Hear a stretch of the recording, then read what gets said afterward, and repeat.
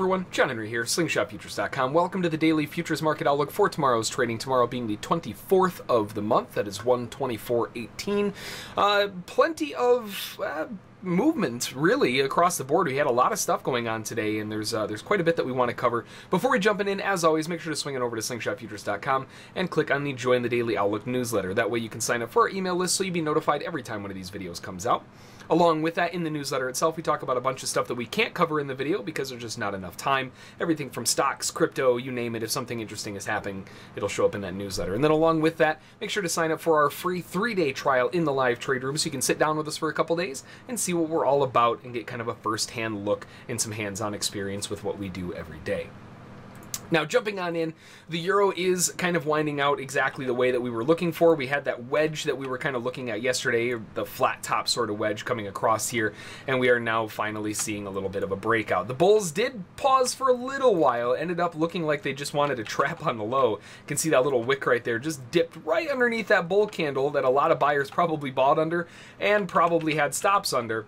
And it looks like more buyers use that as an opportunity to buy at a slightly better price, and we have now pushed all the way back up again. Primary objective still not completely met at those highs, but we are not far off anymore. It does still look like we're in a range scenario here, pretty hard to ignore a potential range with a fake break low. And the likelihood here, now that we have a fake break low, is to measure this distance and then transpose it on the highs. And that's kind of the equidistant move that we're looking for, and it lines up pretty darn close to that previous swing high, give or take a couple ticks here or there. Overall, everything is still looking pretty good. We have a very strong bull move to the upside everything is looking good for the buyers. And we do have a potential of a larger upside objective. You know, right off the bat, the first thing that stands out is simply the fact that we've broken aggressively above that previous swing high. And the closest they've been able to come to retest that area was right here.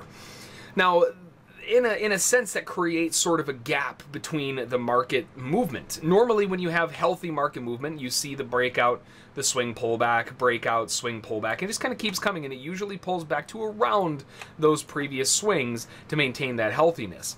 When it starts getting away from that, you start running into a situation that is very much more aggressive and that creates a scenario that could open up some larger objectives to the upside. Now, there are a couple different ways to measure that type of thing.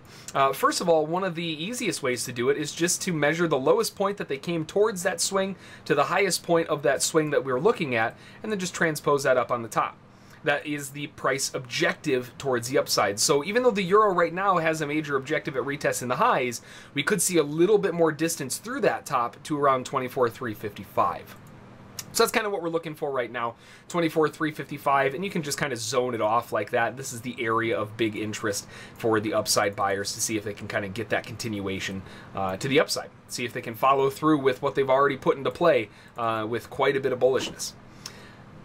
Over on gold, we have a good bit of continuation as well. Uh, once again, another wedge that is breaking out, and this is what we were looking for here. It's pretty much the exact same scenario as the euro. We have a nice little wedge. We broke out, they pulled back, and we're now bouncing.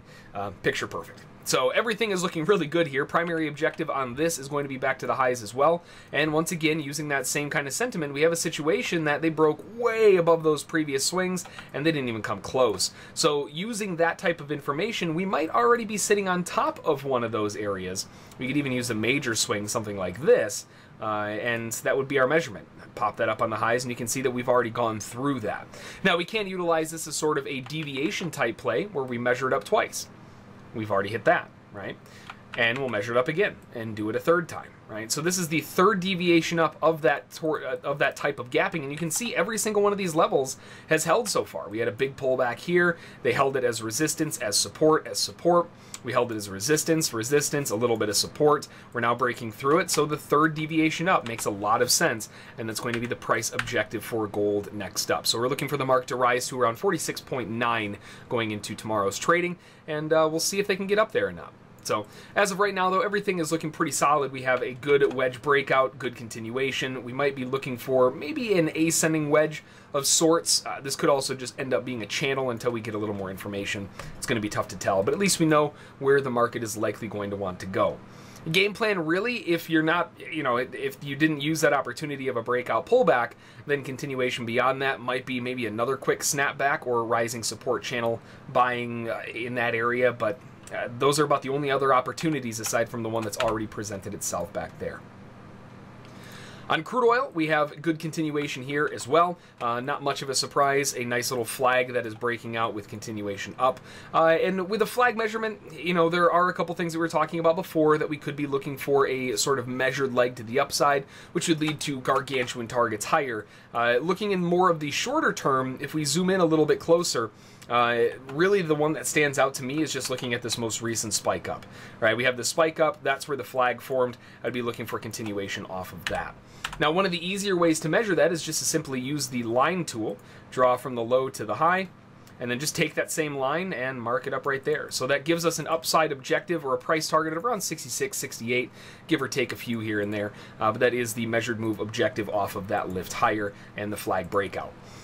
Now, a couple things that do stand out here, of course, on crude oil is simply the fact that when we did come back towards those highs, so what we were talking about before, remember that previous swing high and that failure? Well, that failure did set in. So even though we do have some major price objectives to the upside, we have a big brick wall in the way that the market is going to need to work through.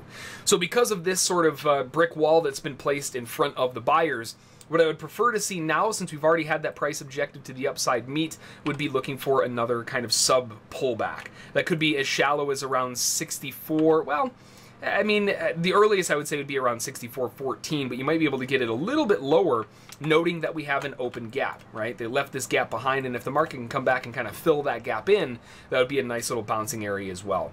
Uh, now, the only reason I'm talking about buying on a deeper pullback is because we've already reached those major price objectives and we're seeing resistance exactly as anticipated. So because of that, got to play it a little bit safe, wait for a better price to jump on in uh, in the event that you missed that opportunity to buy for the rally higher. On the S&P, uh, really good continuation once again. The S&P in, in the index markets really as a whole just continuing to rip higher. Uh, I, am still nervous, like we were talking about yesterday. I'm still nervous uh, about this looking very top heavy right now.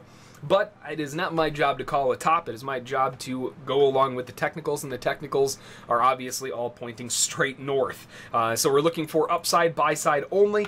And really, the big thing that stands out here is this huge breakoff move without any correction, right? We haven't had any correction after that big breakout move, and what I would love to see is something like this. A quick little snapback to the moving average, kind of reclaim some of these previous swing highs, maybe even a retest of the previous wedge top as support, looking for that secondary bounce. All of that leads to an area of support everywhere from, well, really kind of the previous swing high at around 14 to 15, 28.14 to 28.15 that is, all the way up to around 28.18. That zone is going to be a hot spot for buyers to jump on in and try to lead the market back up again. Uh, so this is the area that I'm going to be looking for if the market decides it wants to pull back. Now again, keep in mind, we have had very little pullback at all, so I would still love to see a good 20-30% pullback in the S&P.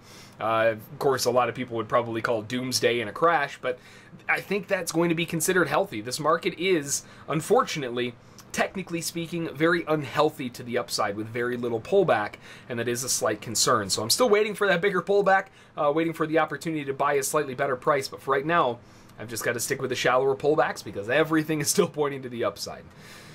So that's going to do it for the futures outlook for tomorrow. As always, if you have any questions, feel free to send me an email, jbrink at slingshotfutures.com. And like we always say, make a plan, trade a plan, follow those rules, and you'll be A-OK. Until next time, we'll see y'all then.